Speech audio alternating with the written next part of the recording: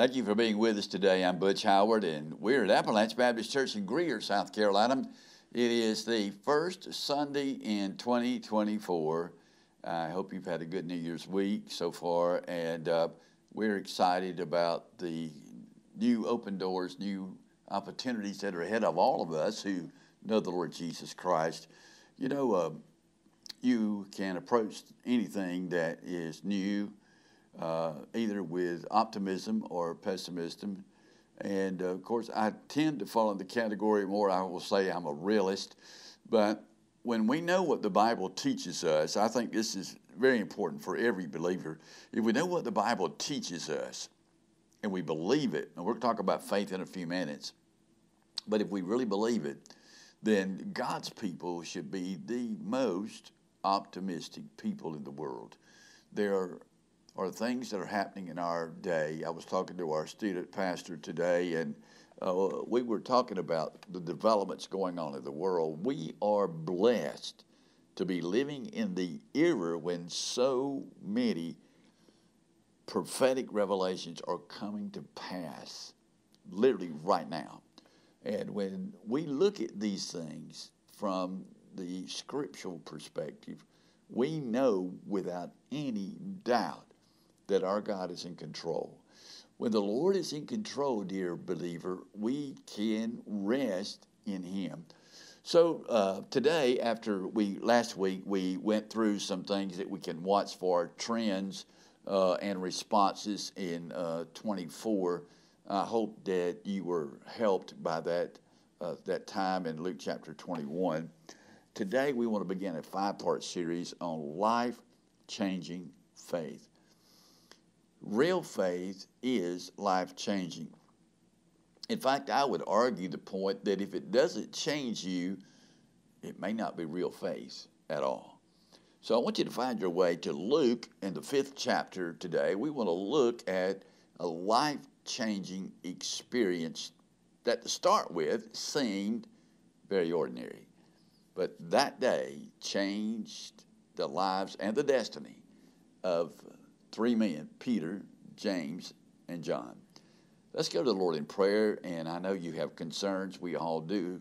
We ask for many of our people today, if you're part of our homebound who are watching uh, the study on uh, YouTube, we, uh, we have many here that are sick. So pray for these church family members who have various things. We've got a lot of sickness going on, so pray for these. And I know you have your needs as well. We know the one who is the great physician. We also know him to be good and faithful to us in every way. Father, we love you today. It's our joy to open again your precious word together. We ask that as we're able to uh, sit in the homes of our viewers today, that you will speak through your word through this clay vessel, this servant, and say those things that we need the most today. We ask your blessings upon those who are in need and sickness and various concerns that you know all about. We pray that today will be a, a life changing day for someone.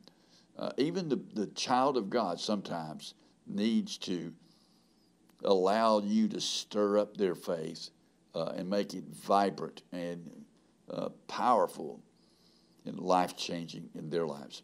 We thank you for what you're about to do. In Jesus' name, amen.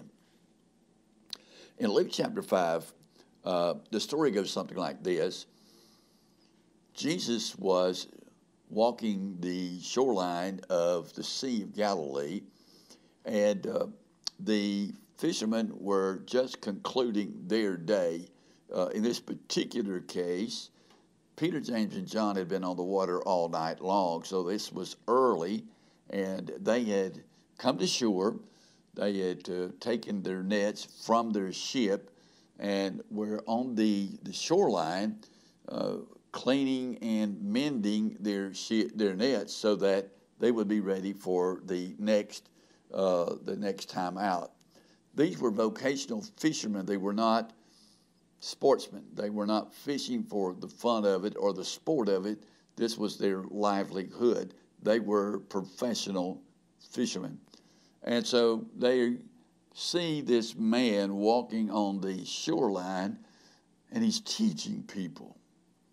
He has a gathering that is there. And uh, as they begin to work their nets, they are in earshot of what this teacher is saying to those who have gathered around him. And we join it here in verse 2. He says, And uh, the Lord saw two ships standing by the lake, but the fishermen were gone out of them and were washing their nets. And Jesus entered into one of the ships, which was Simon's.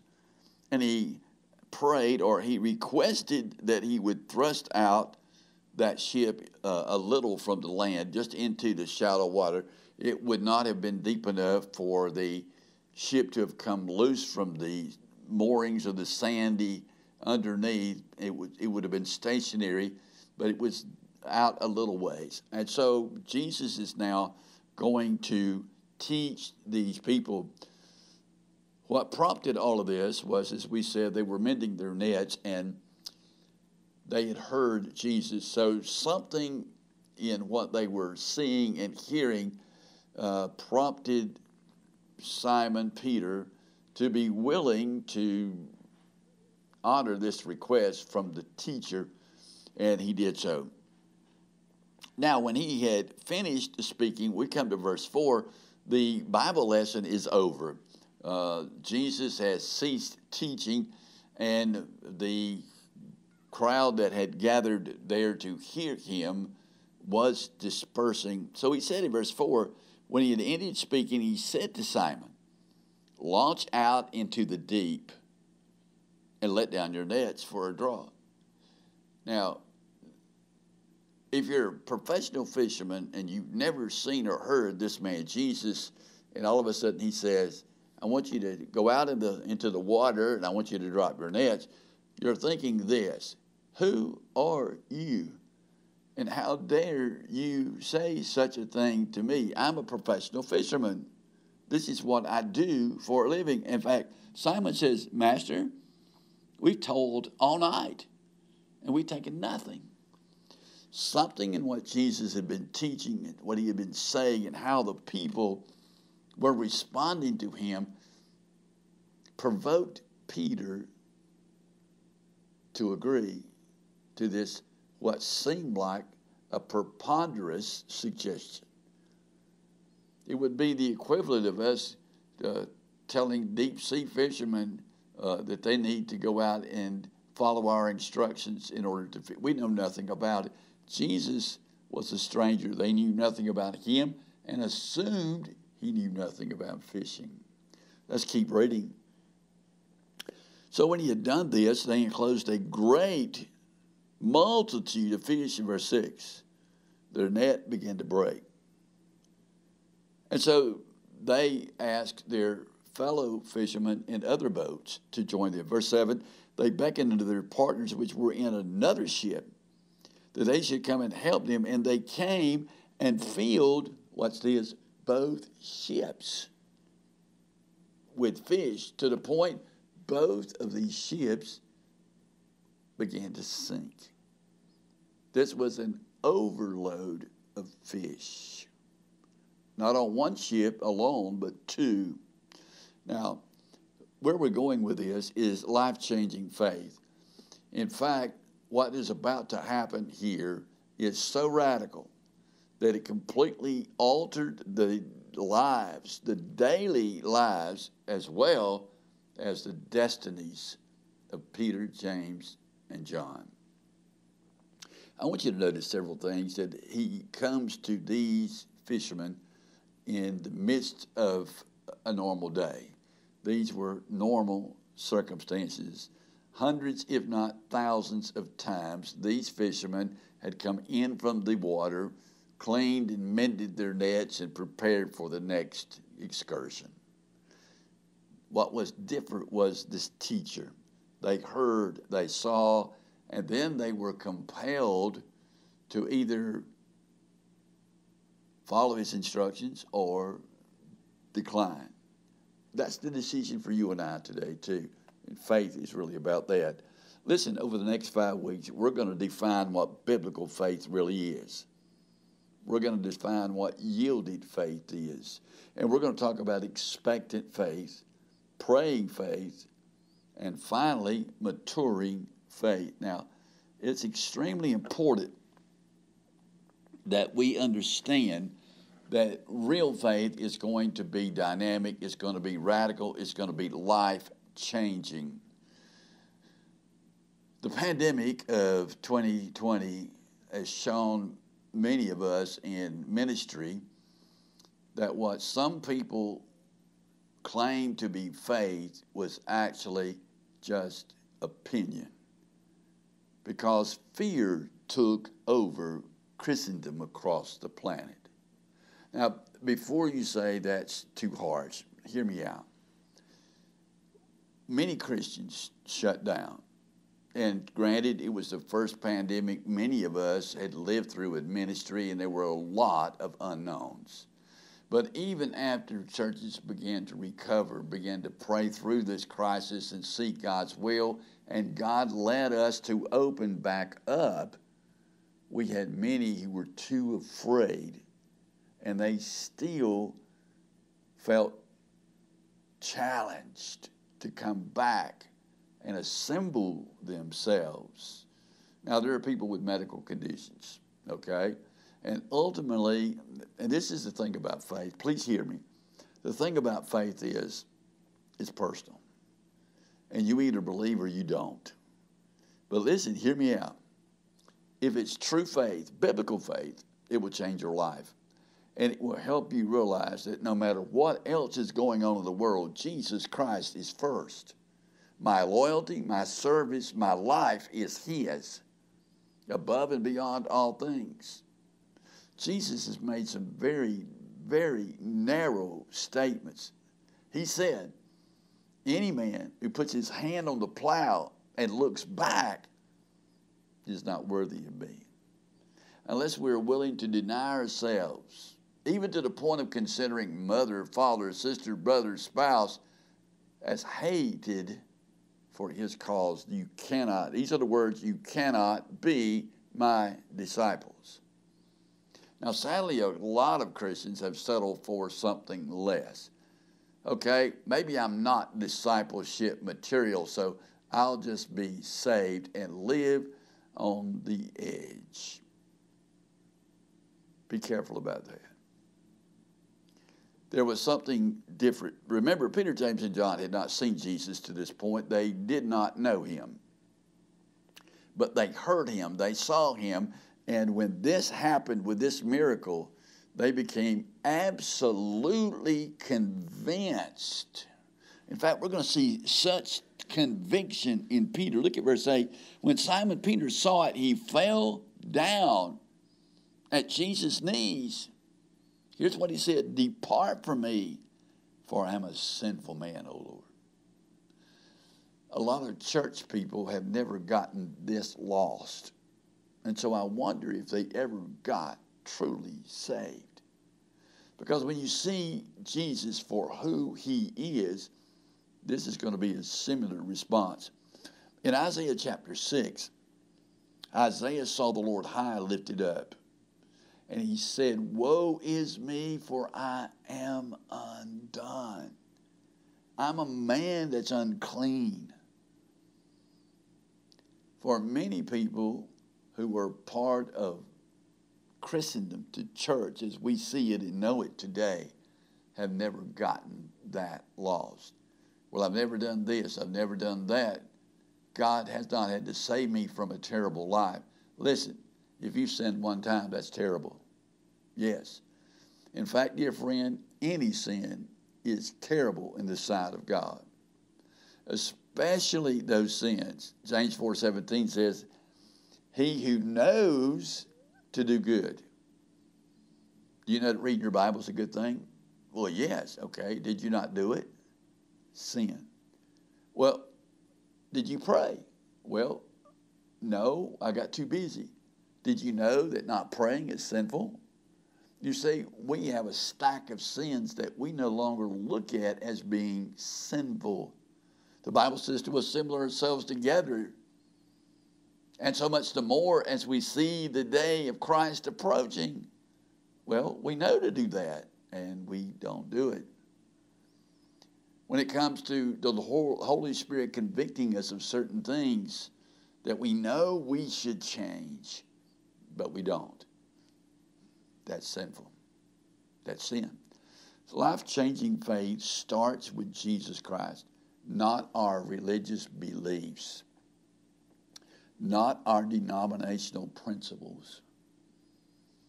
Real faith is not about the Baptist church, the Methodist church, the Pentecostal church, the Presbyterian church, any church. Real faith is about Jesus Christ. When they saw and heard Jesus this day, they came to shore. Now, here's what it says, verse 11. And when they had brought their ships to land, they forsook, circle the word, all we learn in another place that Peter, James, and John, their daddies were in the fishing business too. This wasn't just a whim. They went back, forsook their nets, and left daddy holding the nets. This was radical departure from the culture of that day. If a dad was a fisherman, the boys became fishermen. That's the way life was. They are throwing away the family business here. But when they heard him, they saw him, they had a life changing experience. They forsook all and followed him. Life changing faith in Jesus demands more than belief. A lot of people believe Jesus is the Son of God. James tells us the devils, the demons, and hell believe Jesus is the Son of God. There were demons in the New Testament that when Jesus was ready to call them out, they said, We know who you are. You are the Son of God. And he made them be quiet. They knew more than the people around that day. Belief is not enough. Real faith demands unconditional trust to the point that if there is, oh, and by the way, there is no other way, there is no other one. Everything depends on Jesus. There's nothing for you to figure out, there's nothing for you to plan for, there's no plan B, C, or D. Jesus is everything. And if He's not, if you're banking on something else, listen, all you have is some conviction you've conjured up. It's not true faith. Number three, the reason many do not hear the call of God is they're not listening. Now, these guys could have gone about their own business, and there probably were other fishermen here this day as well. Uh, that's how the business was. These guys shipped, uh, fished all night, came in, and so they were probably numbers of fishermen doing exactly what Peter, James, and John were doing that day. They saw something and heard something in Jesus as they were doing what they were doing in their run of the mill everyday life. They heard and it penetrated their hearts. Do you hear the call of God? It's amazing to us who preach and teach. We can have an assembly, large or small, doesn't matter the number, sitting before us and we're teaching or preaching the Word of God and we can look into faces. Listen to me carefully. I say this with love, but it's truth. We can look into their faces and we know when they're not listening. They're just sitting there. The lights are on, but nobody's there. Their minds are somewhere else. Real worship means that I must show up with my whole being. The Bible's full of passages that teach us to search for the Lord with our whole heart. The first commandment is to love the Lord thy God with all your heart, with all your mind, with all your strength. God's not in the business of just appealing to parts of us. They're not listening, nor do they believe. Life changing faith is also being fully persuaded that Jesus Christ will do what he says. He'll do what he says.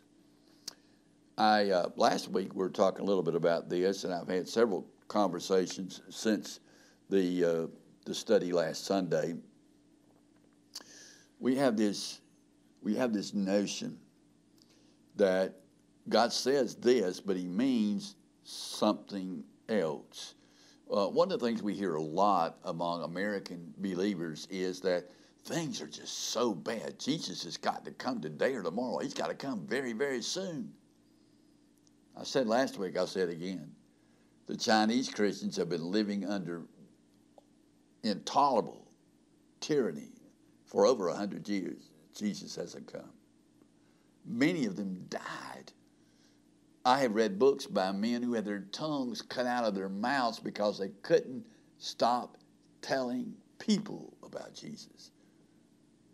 The American Christians somehow think we're immune to that. That can't happen here. Listen, things can and they will get a lot worse. I told our men's Bible study class last Sunday morning, we need to understand this, guys.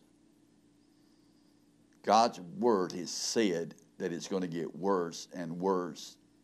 That's the scripture. We can go to passage after passage that says it's going to get worse and worse. God is not going to change his word for us. Just because we do not want it to get worse doesn't mean it won't. You and I are going to have to believe God to the point where our faith becomes life changing. Instead of being wimpy and cowardly and faithless, we're called boldness. In the early church, the disciples went about sharing the faith just after Jesus has gone back into heaven. They were arrested by the authorities. Imagine that happening Sunday morning here at Apalache. The authorities came in and arrested people, both in the congregation and on the ministry team, and says, You can no longer speak the words of Jesus in public, or you will be fined or imprisoned or worse. How many Christians today in America would say, That's it? I'm going home. We can't risk getting arrested. We can't afford fines. We certainly do not want to go to prison. Now, listen, you might say in your heart, Well, that would not be me. Peter said the same thing. Peter told Jesus, I will go to prison. You can read about it in Luke. I will go to prison and I will die with you. Jesus said, Peter, Peter, before the sun comes up tomorrow, you will deny you know me three times. And it happened. You may think you know yourself, but when things become desperate and challenging, faith either shows up or it's non existent. There is nothing in the middle. So we need to understand that life changing faith is fully persuaded in the person of Jesus Christ to do what he said he's going to do. I'm going to tell you guys, 2024 is shaping up to be a cataclysmic year. January 1st, there was a 7.6 magnitude earthquake in Japan. They're still feeling aftershocks. There are some things that are coming in the world that are being planned, that are getting ready to be deployed in our world that will terrify us to the core of our being unless we become men and women of courageous, life changing faith. It's coming. The Bible says it's coming. These folks are not even hiding it anymore. It's coming. We're going to have to get ready. And then Life changing faith begins when one ceases to live as usual and begins to make some radical changes. Radical changes. Well, what do we mean by this? What's this? Many people believe within the scope, within the realm, within the perimeters of what they can do. churches are notorious for this. Well, we will increase our budget 1.2, 1.3, or this, that, the other, or we're freezing all spending because this is what we can do. That's not what God calls us to. And I'm not being critical. The church either believes or the church doesn't. It doesn't mean stupidity, it doesn't mean recklessness, but it does mean living by faith. A faith that believes God put us here, a faith that believes God will supply the need. Individual families are in the same situation. Life changing faith goes beyond both our capabilities and our limitations. David and Jonathan were walking down from the mountain down into the valley when they spotted Saul's troops. And uh, they were great friends. Uh, you know the story. Jonathan and David were really, really best friends. And so they're, they're there. And so David says, let's go see what God will do. Let's go see what God will do. He had, there was two of, two of these guys, and they're looking at the entire regiment there of Saul's soldiers. Let's go see what God will do. When's the last time we came to church and we asked that question? Let's see what God will do today. When we come and we only expect what we can do within the limits of our capabilities as well as our shortcomings, when that's the scope of our faith, friends, fellow believers, it's a small faith. It's a weak faith. It's a timid faith. Life changing faith does not live passively. Again, David and Jonathan, let's go see what God will do. When the disciples had just witnessed Jesus going back into heaven, what they did was, was phenomenal. They went out preaching and teaching and people were getting saved. They got arrested. When they got arrested and they finally were released, they came back. They did not complain to God about being arrested. Here's what they did they prayed for more boldness. They asked God to embolden them, make them even more courageous.